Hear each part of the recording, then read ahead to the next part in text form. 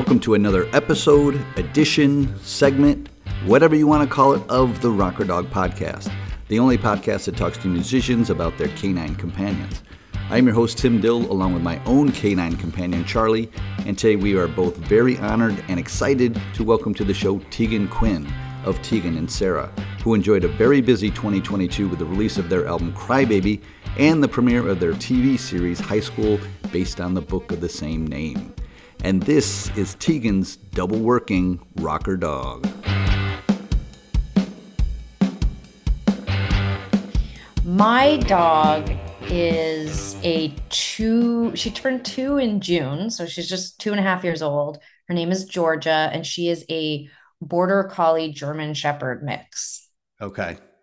Uh, to which I heard you describe as a hell breed. yeah.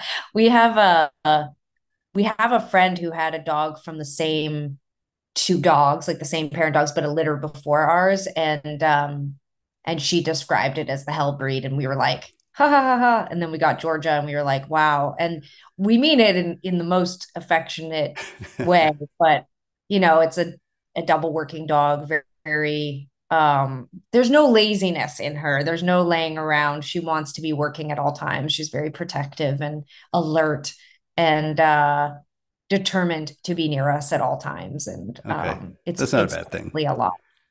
Okay. No, I don't think so. Well, it's been it's been well documented that it was a struggle um, when she first came into your life. Um, your first six months, you described in a Instagram post as a mix of misery, mystery, and melodrama. Um, I'm wondering what were the first 24, 48 hours like? Oh, I just rehashed this with my my partner. We've been together. Uh, my partner's name's Sophia. We've been together almost eight years, and we talked, you know, constantly about getting a dog. And it was really just during the pandemic when I was finally off tour and at home for an extended period that we decided to do it. My hangup about getting a dog was always that I wouldn't be home enough to really like help out and and imprint and really you know have a connection with the dog because I just I travel and tour so much with my band um, so when we finally uh, found a dog, because it was really challenging during COVID, you know, they closed the border, all the rescues didn't have dogs. Like, you know, we were uh, trying to get an adult dog. And then a friend of ours called up and said, Hey, there's this litter. Um, and they have one puppy left. She's a girl and she kind of looks more like a border collie. So nobody like has snapped her up. Everyone wanted more like the German Shepherd looking puppies. And we drove about an hour from here to this place in Mission, BC. It was kind of looked like a junkyard. And this guy drove down in a truck and behind this gate just held up, picked up Georgia by her scruff and just like held her up between the bars and said we could pet her. And we paid the deposit and we were going on holiday the next day. So we said, Can we come back in a week? And he said, That's fine. And she was so docile and quiet and she didn't like move or do anything. We were like, oh, this is so great. She's really calm, just like ridiculous. It was probably like the first time she'd ever been handled. Like it became clear as soon as we picked her up that she had just kind of been living in a cage in the back, you know, like she'd never really been handled. She'd never seen cars. She'd never been around people. She was really nervous right from the start. So the first 24 hours, my partner drove out, picked her up, um, and I met her when they got into the city and we drove over to my sister's because they had a basement suite with a with a backyard that we could use at their house and we thought it'd be easier to sort of start the puppy training and the potty training you know like to be there because i live in an apartment and um on the drive over i was already overwhelmed because like georgia smelled like pee you know like she smelled like she'd been living in a oh, cage with a bunch yeah. of other puppies and and she was so much bigger and heavier than I expected, you know, like, but uh, I was already so scared and overwhelmed. And we brought her, uh, you know, to my sister's place and we let her run around in the backyard and she wouldn't leave my side. You know, she was really, really close to me right away, like laying under my legs, like just, and every time we try to bring her into the um, basement suite, like to the place where we were staying, she would run back outside. She didn't, she'd never been inside. So, right and then right away too we noticed like my mom came to visit and when when my sister got home that was the only time georgia really made a peep and she would bark at everybody. And i was like that was my first sign too that she'd like never really been around like never seen people coming and going. And so uh, but she fell asleep while we were making dinner And I remember looking at my partner Sophia and being like, we nailed this. Like, this is so easy. like, she's like chill, she's sleeping. And then that night, we decided we were going to crate train her right away. And so she slept in her crate, but we put it up on a chair. And my part, we slept with the door open, and my partner put her hand in the crate, and Georgia just like slept on her arm because she was, oh. didn't want to be alone in the crate. But we really wanted to instill this sort of like safe den like thing. So, yeah, the first 24 hours were like, very overwhelming, very new, very scary.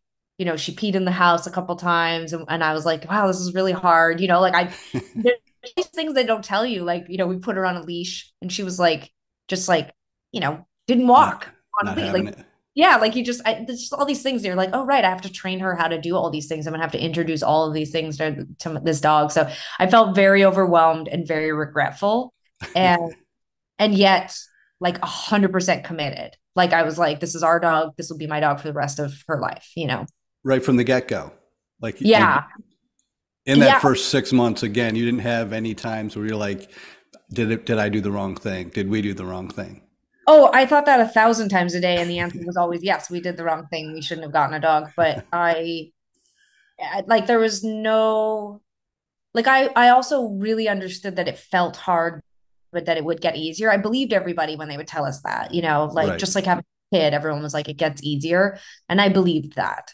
Um, I, we also immediately hired a trainer, you know, like we were like, we really, we, we're going to need help. We're both busy people and we really wanted to, um, have resources right away. So like right. we immediately hired someone to help us. And that really like that within a month, I felt like I had a handle on things, but you know, we live in a very chaotic neighborhood and Georgia just has like we trained with her, we hand fed her the first year, you know, like we did everything sort of by the book, but she just as much as she seemed to trust us and love us and and flourish when we're around she also like was a very nervous dog. She like really didn't I, like i said i live in a chaotic neighborhood and people there were a lot of people on the streets like who just like would try to pet her and touch her and she was just always really nervous with that and i think everybody was like introduce your dog to a million people let a million people touch her get bikes and skateboards and this and that's our neighborhood. It's just like chaos and i think that it backfired. It made her right. really it made her more nervous because she'd just never seen anything like that and so yeah the first six months it was i was deeply regretful. We spent hours every day walking her trying to socialize her trying to help her with her anxieties. Like it's like we like she got really really anxious about bikes. So i put my bike in the apartment and we fed her next to my bike and i would ride my bike around and she was just like got used to it so we would tackle like one problem and then the next week it would be like she hated old people. Like just all of a sudden out of nowhere if you were like over the age of 50 she was like really nervous and like it just it's endless. And even now you know at two and a half years she still doesn't really like it when if we say say hi she barks. She really doesn't like when people approach us. But the second she just is left alone for like 30 seconds then she's a total suck and she loves people and loves dogs and wants to be pet. But she's really initially um, nervous and we still like we still are working on things two and a half years later. So that was like really like deeply imprinted on me that this was like a massive responsibility. I became a billboard for like warning people, like anyone in my life, like, thinking about getting a dog, I'd be like, we need to schedule a chat immediately. You must know how hard it is. And I know it's just partly our dog, but um, yeah, it was really hard. Um, I also read that you did a ton of research and felt you were well prepared. So my question is, where did that go wrong? yeah, I could I probably will write a book about it at some point. I I'll say this. I think just like people, what I learned, because I never had a dog, so I didn't know this, is that just like people, like a dog is who they are, you know, like mm-hmm. it, it's it's very breed specific for sure, certain things. Like we studied up on border collies and german shepherds. I i knew she was going to be really high energy need a lot of training loves to work lots of games. Like we nailed all of that. Like georgia is like incredibly obedient. She is like those like police dogs you see online like you know that everyone's yelling in german at like she's really obedient. But you know all that training i mean we certainly do a lot to try to build her confidence. She still is just a nervous dog. Her her nature is she wants to guard she wants to protect she wants to herd she wants to work. And so when she, when those things came up, I realized that that's not, that's not something you get from a trainer who's teaching you how to get your dog to walk on a leash. You know, like I, mm-hmm. I think some of it is just who Georgia is and probably also like, you know, because she'd had no real contact with the city, cars, people, she wasn't handled or touched the first couple of months of her life. She just is nervous. Like, and right. I think I just didn't know some also some key things like you know we're all sort of taught to throw our hand out to let a dog sniff it which is like yep. that's something you do to a cat not a dog. A dog can smell cancer. It doesn't need you to put your hand in its face. Like good point. point and you know like and right away like some like i had like read a lot about eye contact. Like you really want to get your dog to make meaningful eye contact with you. Like we did a lot of food training around that. Like georgia can hold extended eye contact. She's really really great at that but like she doesn't like it when people other people stare at her. And i just like i didn't know any of that. I didn't like really understand how threatened georgia would be. Like we get into an elevator and she's so cute and everyone stares at her and then she stares at them and then she gets anxious because they won't stop making broke unbroken eye contact with her. And then right. they stick their hand out and then they lean over and it's like very scary. Like it's my sister has a baby, you know, he's seven months. When we go over to the house, I employ a lot of what I learned about dogs with him. I don't get in his face. I don't say, you know, I don't scream at him because if you if you do that, he cries. Right. Because it's like very overwhelming to have somebody get in your face, stick your hand out, like get crazy, talk baby talk. So Georgia, Georgia really is me like she knows she doesn't like that. She doesn't want you to scream in her face and talk baby talk to her. You know, like takes her a minute to get used to. to so I, you know, like there's a lot that I think went wrong because I just didn't even know to, what to protect her from. Like I right. didn't know what to just say to people like, please don't scream and baby talk at my dog's face. Like she's really nervous. Like I also didn't know like very early on when when people would approach her, she would pee. And I didn't, it took a minute for me to realize, oh, like she's really anxious. Like we should protect her more. We should get in front of her more. We should be her mom. Like we should mm-hmm. stop people. Um, and so some of these things had sort of already imprinted and undoing them has has proven to be difficult. But I also just really believe do- like each dog has its own soul and nature. And I think Georgia's soul and her nature is just to be a little bit unhinged. She's a little nervous, you know. Right, right. Well, you mentioned that she's like you in a way. Is she? How else is she like you? Like I, I, I was looking at some things that you were saying that you know you're you know, a, a, free spirit and very independent, you know, yeah. is she also, or, you know, what other ways do you guys either sync up or don't sync up? Well, it's interesting because my partner, Sophia, she spends obviously a lot of time with Georgia, you know, when I'm touring and traveling and, and Sophia has a very big like um, jump re- reflex like startle reflex mm-hmm. so i actually see a lot of georgia's anxiety more if, of my my partner. I, I think Georgia had it anyway, but that's where they they bond is they both have like a large startle reflex, and you know she my partner she does what we call a military check every night before bed. Like she goes and looks in every closet and under the bed. Like she kind of patrols the perimeter of our place. Like she just that's her nature. And so when we got Georgia, like the first year, Georgia was always sort of in a command you know we'd be like okay heel and she would walk the perimeter with with sophia and check underneath everything. Like so they kind of like encouraged like it was like right. they encouraged each other's anxieties in a way. You know the parts of georgia i think that i really get are like that i'm i'm a little suspect with new people but then i really open up and feel real, like i'm a, i'm a total extrovert and i love being social and georgia has no chill. Like once people are once she's settled down and people in her house it's like she just wants constant pets and attention and she's just moves from person to person sniffing. Anyone gets up to go to the bathroom she walks with them to the bathroom. You know she's just like kind of me. She's like kind of wants to sort of be in everyone's face and know everything that's going on at all times. Um so and she's just like she's a real cuddle bug too. You know she since she was a puppy our trainer had said like you know the first year don't let your dog up on your furniture if you want them to have respect for your stuff. And and we were like that's going to be impossible but we made it almost a year but instead of letting her on the bed or on the couch, I would just get in her bed with her. So every night when we'd watch TV, I would climb into her dog bed. And at first she would get out. And just slowly over time, we kind of built up this this trust with each other and now like every night before bed i like go and crawl into her bed and she like curls up with me and like it's it but if my partner tries to do it georgia will just get up because she's like the alpha in the house you know right. and so like i think georgia's like oh that's that's mom's bed now but uh yeah she's just like she's can be really can be really sweet and and she's very social okay you know in that first six month or year can you pinpoint a turning point where things did shift for the better, at least for you mentally or behavior wise? was there, you know, kind of a week could look back on and say, gosh, did you notice, you know? Yeah.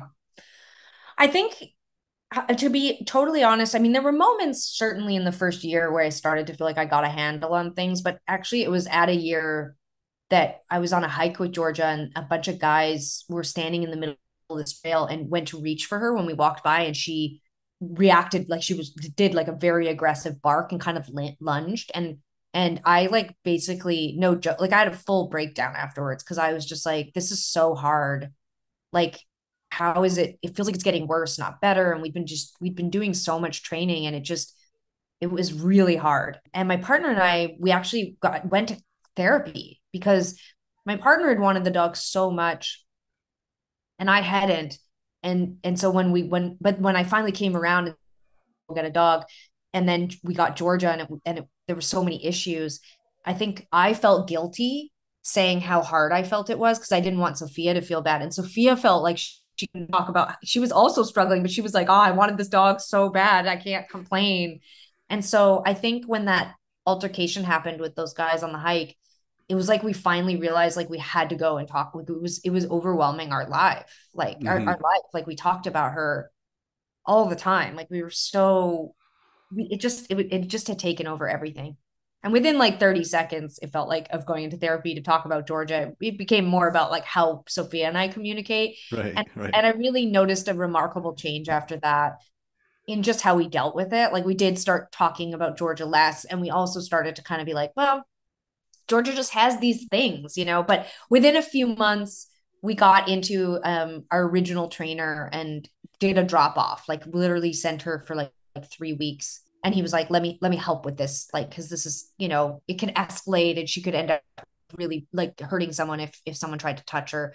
Um, and when we got her back, she was far from perfect. Like it wasn't, you know, nobody promised perfect, but she was so much better, like with, with that sort of thing. And we started to do in-person training, go, you know, go to the mall, go to Starbucks and like try to get people to pet our dog and like worked with her on that. And so I'd say like about 14 months after we got her, that's when it shifted for me. And one of the things that shifted was I was just like, I wouldn't give Georgia up for anything. And so mm-hmm. if this this if this is just a thing we have to be mindful of, if this is just part of Georgia, like she just doesn't like to be pet on leash, then I can deal with that. And I can just, when she does react now, I feel less upset about it. Like, you know, um, and I think like that's when everything else started to to be amplified. Like she's just such so good on leash. She's runs 5k with me in a perfect heel, like ears down, working. Like she's just so sweet. She's so smart. And you know, like every morning now I get up and I go get her at like six in the morning out of the crate and let her sleep in bed with me because I just like love being close to her. And like she's just so sweet. My sister brought her baby over in Georgia laid at their feet, you know, like she's really protective and like, you know, I'm just starting to like look at the things she's really good at. She's never, never destroyed a piece of furniture. She's never eaten anything in our, our house. She, you know, has almost like a hundred percent perfect recall. Like she's there's so many things about her that are awesome.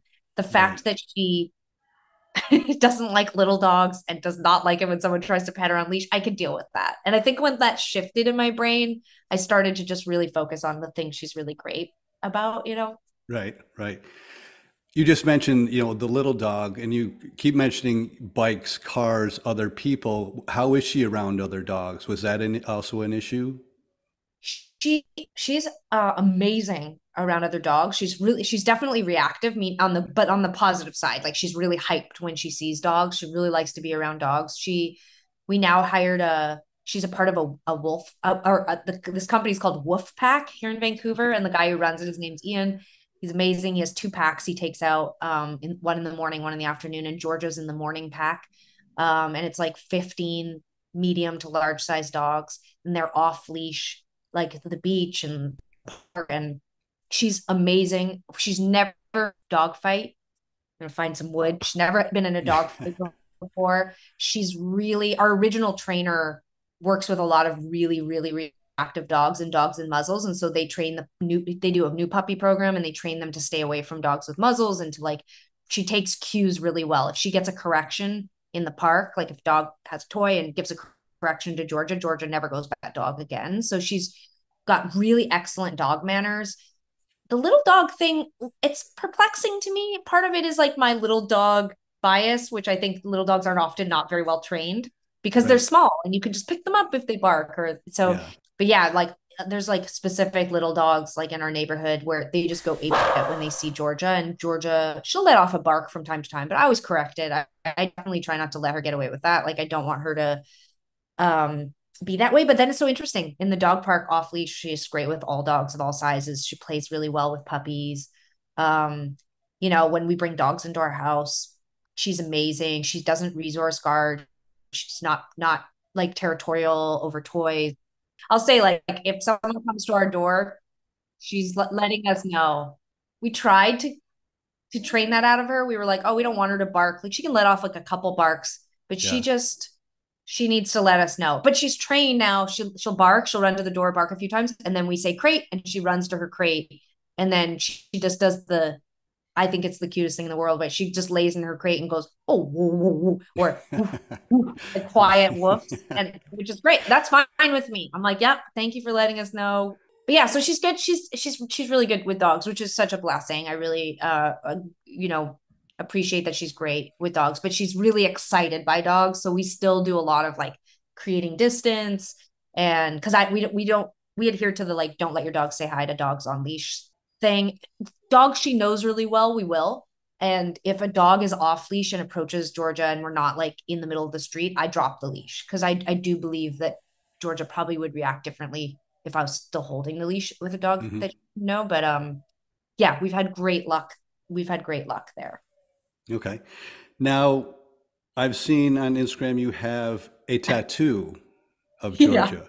Yeah. Let take me through the creative process of that. Like, when, at what point of the relationship that we just got done discussing were you like, I'm going to get a tattoo, and not only I'm going to get a tattoo, but this is the style of the tattoo I'm going to get, and this is the place where I'm going to get it. Yeah, so I definitely never thought I'd be the person who would get their animal tattooed on them. Part of it was that reason where I was like, this is hilarious, so I'm going to do it. But um, I got the tattoo this past spring, so right right about a month before the two year anniversary of getting mm-hmm. Georgia.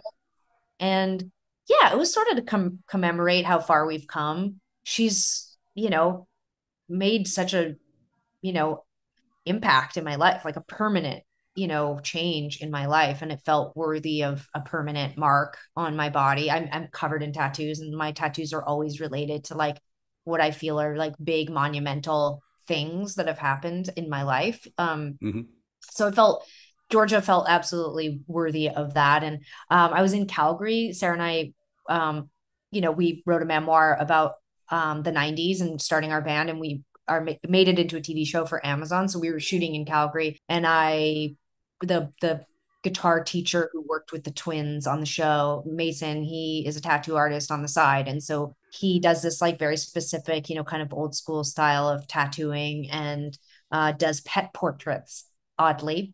And I was looking at his Instagram and was like, I'm going to let Mason do a pet portrait for me. So I sent him some images and he uh, ended up putting it's a it's a really cute photo of her with her tongue kind of hanging out of her mouth, but it's um, framed by the state of Georgia. And she's an her name is an homage to my family who lives in Georgia, um, and so it's uh you know her face uh, framed by the state of Georgia with a with a Georgia peach and I got it on my thigh. I got it like above my left knee. And yeah, it's ridiculous. It's absolutely ridiculous. and I love it. You need to post a, a better, clearer photo of it. I, I've, I will. I've only, I've only caught it once on one of your one of your shots, but and I was you know like the peach. I didn't see the peach. I didn't see the the oh. shape of the state. So Okay, for, for my sake, or or send me one so I can post. I'd be I'd be happy to do so. Okay. If there's one thing you could change about Georgia, what would it be? Well, of course, this is the trap, right? Because once you start changing some someone, you're not really loving them for who they are. And I think maybe that's been part of my journey is just I've accepted certain things about Georgia. Of course, we work at it all the time. I mean, this weekend right. we went to a very busy part of town where there's a million dogs because I've been away for a few weeks and I said I want to walk Georgia a ton past a ton of dogs. Like, you know, I want to make sure she feels safe and secure, like re, you know, connect with her. So, you know, we work on on all of her trouble issues all the time. Um, you know, of course I'd love to snap my fingers and have Georgia just be super chill on leash and not react, but uh we just we'll just work on that. That's just like kind of part of the journey and you know, sometimes like a few times scary people have approached me. I live like, you know, live in a, a difficult neighborhood to some degree. There's a lot of there's sometimes people that are not awesome. And uh, I think that's where some of her reactivity came from when she was a puppy. She was so cute. She was like a magnet for all people. And one time I was chased by somebody who was like not in a good mental state and was like very erratic. And I was yelling at him to like off basically. And Georgia just started barking crazily. And I think some of her reactivity probably stems from some of those early incidents that happened. And mm-hmm. so sometimes when I'm out taking her for a walk at night and someone sketchy approaches and Georgia starts growling and they cross the street, I'm like, you know what? I don't really like having um, a German Shepherd looking dog who's protecting me. So, yeah, I, I probably wouldn't change anything about her. You know, I'm happy to just be that. That's part of our journey. Is we're just going to keep working on it together. Okay, great answer. It's funny because I just my last guest that I, I spoke with last week uh, we came to the conclusion that that would be a good question. I didn't even I didn't even ask her that question. It was kind of in the you know after we turned oh, off the mic. Cool. I was like, you know, I'm going to save that for my next interview. But it's such a great answer because it is. You, you know, and, it's, and I've talked to guests before about you know you can't change the wild instinct that makes a dog a dog. You know, yeah. so it's you know. And I don't think I knew, and I don't think I knew that. You know, like I think honestly, as someone who never had a dog, I just thought, well, we'll pay for really good training and we'll do and we had amazing resources i'm really lucky in that way we have lots of disposable income to throw at georgia so we did like swimming lessons and two different trainers and then we hired someone who just did off leash training with us like i just thought oh we'll just train her and she'll be perfect and it's like the who a dog is and that wild instinct is in them like the fact that georgia naturally herded us as a puppy. And even now, it's a treat we give her. Sometimes we'll take her to the park and we'll let her herd us. Like we'll mm-hmm. let her corral us and like the joy. You know she's on two wait lists right now to go to sheep farms to learn to herd. Like i know that's in her and i don't want to change that you know? That'd be awesome. I love the story. I can't remember where i read it but you said and you were mentioning it earlier when you're jogging with her and she's right on heel yeah. that she'll every so often her nose bumps your back yeah. of your knee. Yeah, I, I love that. Yeah the first time it happened i was like this is cool. Like even just to see like her because she does have the German Shepherd ears, like the that it just went back went back into working mode. Like when she's walking in working mode, it's so pleasurable. And yeah, when she does the tapping, it's and and makes the eye contact with me, I'm like, I love that because I do think that she would be better off on a farm herding sheep all day, but she's not. She's living in Gastown with me in Vancouver, and so uh, you know, I love to give her. I love to pay homage to her natural instincts. All right. Well, we wrap up the show with what I call the zoomies, and those are five quick questions. So the first question is Do you kiss Georgia on the lips? Well, lips, the mouth. Oh, yeah. I give her so many kisses. I let her lick my face for sure. It's disgusting. I love it. Okay, good. I lo- that's that's my answer, but it's it's usually like a 50-50 split with my guests. Yeah. Question 2 is given your occupation, has she licked anybody famous for lack of a better word? Um, any fellow musicians or any well-known celebrities? No, I don't think so. I mean, she's met a lot of people who I know. So yeah, I mean, I guess like I mean, recently I had uh actor and comedian Cameron Esposito over, and so she's licked Cameron Esposito's hand. Um, okay, good. Yeah. Good answer. Question three. Really, and Jess Rona, who's a very like she's like a famous uh, groomer and comedian and writer has an amazing instagram account called jess rona grooming makes these amazing videos she's very close with jess so she knows very famous jess rona okay Great. And she did. She directed your videos too. One. Your, she did. Your... She directed a video of ours with dogs, and she's she grooms famously. She grooms Katy Perry's dogs and like lots of actors. So that's great. When Georgia got groomed by Jess the first time, Jess sent me a photo of Georgia on one side of the couch and uh, Katy Perry's dog Nugget on the other side of the couch. Very that's cute. awesome. Yes. That's awesome. I love it. Question three is if she if Georgia had a theme song, what would you what would what theme song would you give her? oh man, probably I oh it's overwhelming. Um we make up songs about her all the time, but uh God, I don't know. I'm, I'm pulling a blank. As a musician, I can't even believe that I'm horrified that I can't even think of one. I can't even just pick a random song. I'm like completely and totally baffled. I'm like, uh, maybe people, listeners, should make suggestions of what now listening to what my dog's like, what would be her theme song. Okay, that'll be a good Instagram post to get people uh, engaged. Yeah. Question yeah, four Do you have a dog voice? Oh, of course. Oh my God. Do you want to hear it? I do. Of course you do. yes. We, so I have a voice I talk to Georgia in, but we have a voice for Georgia. So Georgia's voice is, oh my God, where's my mom's? Why is my mom's not here? And if we start talking like that, she runs over and stares at us and we're like, stop talking about me. That's her voice. I love it. Love it. And finally, is there a dog organization, charity, rescue, any anything that uh, you'd like to just give a shout out to while you got a, a live mic? Yeah, for sure. I we were just in Mexico on vacation and um we went for dinner right next door to this place called um Acre or Acra. Um and they have a huge dog rescue. They have like a farm and they have like a hotel and restaurant and stuff, but they have a rescue there. Um and the site's Acre Dogs. Um it's funny because I got really obsessed with their Instagram and when we decided we were going to get a dog, we applied for a dog through them because they just rescue dogs um, in Mexico. But they never responded. So, but that's fine. We got Georgia. It's totally fine. Yeah. It all worked out in the end. Yeah. Um, anything to promote? Anything coming up in the spring or the summer or the fall of 2023 for? Yeah, we are. Um, we're two big things happening. We're launching a big tour uh, in support of our new album, Cry Baby. So all, all the tour dates are up online on our website, and we're heading all over North America. And then we also have a graphic novel that Sara and I wrote that comes out at the end of May. And it's a sort of fictionalized retelling of our junior high experience. And it's about, you know, a set of twins, but current, it's the present the day. Pre, the prequel to high school? it's the prequel to high school, but it's fictionalized and it's set in the present day, so it's a bit different. But it's um, illustrated by the wildly talented, also a twin, Tilly Walden. Um, and so the graphic the graphic novel is aimed at eight to fifteen year olds, but it's obviously just like all animation, it's like aimed at adults too. Like we put a lot of adult humor in, and so yeah, that comes out in May. All right, sounds great. Well, I have to tell you, I just recently had back surgery in uh, late last year, and it was high school the series and the book that helped me kill a lot of time because I was oh I was on my back. So it was a pleasure, you know, seeing your uh, your younger self, and uh, that, that's a whole other podcast. But that must have been a, quite a quite an experience to develop and execute it.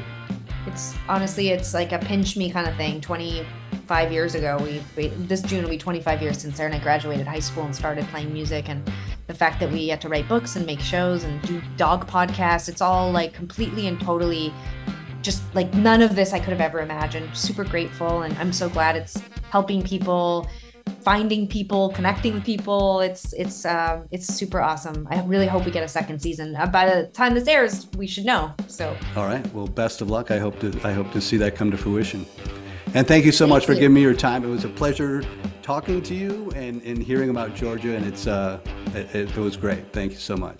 Thank you. There's really nothing I like more than talking about Georgia. So this was really, it's really all, that's all me thanking you because it was a pleasure. So thank you. Likewise. All right. A massive thank you to Tegan Quin for coming on the show and telling us all about her spirited dog, Georgia. The dog organization Tegan chose to shine a spotlight on is Acre Dogs, which was created in 2017 and rescues, rehabilitates, and rehomes street pups to loving forever homes in Mexico, Canada, and the U.S. To donate, volunteer, or adopt, visit acredogs.squarespace.com.